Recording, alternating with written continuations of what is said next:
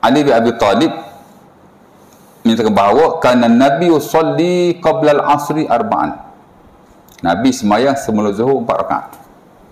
Yafsil bainahun Nabi taslim. Nabi buat dua-dua. Tengah-tengah tu Nabi bagi salam. Alal malaikatil muqarrabin wa man yalihi minal mu'minina wal muslimin. Ya. Nabi semayang empat rakaat sebelum asar, Nabi memisahkan dengan salam ke atas malaikat-malaikat yang muqarrabin yang dekat dengan Allah dan kepada orang-orang Islam yang berada di kanan kiri baginda sallallahu alaihi wasallam ya. Hmm.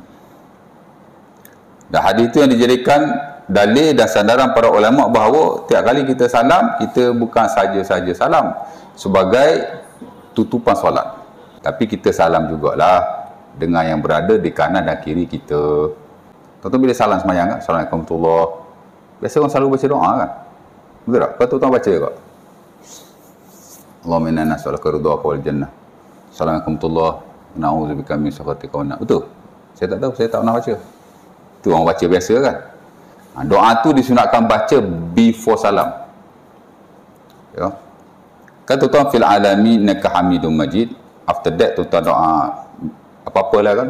Tapi sebaik-baiknya minta berlindung daripada empat perkara. Allahumma inni a'udzubika min azabi jahannam wa min azabil qabr wa min fitnatil mahya wal mamat wa min fitnatil masihid dajjal. Betul tak?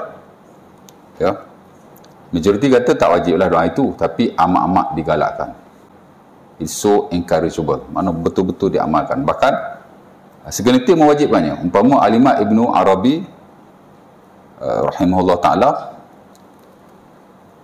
dalam bukunya Ahkam Sughra ya, dia ada Ahkam Kubra dia ada Ahkam Sughra ya. dan mungkin adalah sebagian yang lain. Kerana Nabi tidak pernah meninggalkannya dan Nabi memerintahkannya.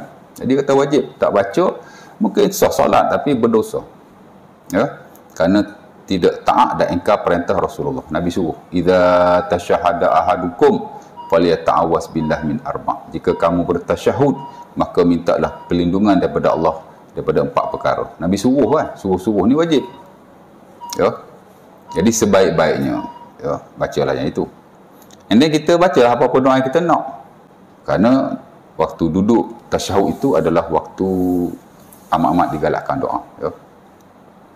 Hmm. Jadi doa lah apa-apa. Antaranya ialah Allahumma inni as'aluka al-jannah wa a'udzubika minan nar. Kita minta syurga dan berlindung daripada neraka. Yang sunatnya sebelum salam tu bukan ketika salam. Hmm.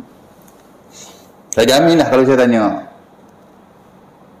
siapa yang kata sunat bagi atau baca doa ketika salam?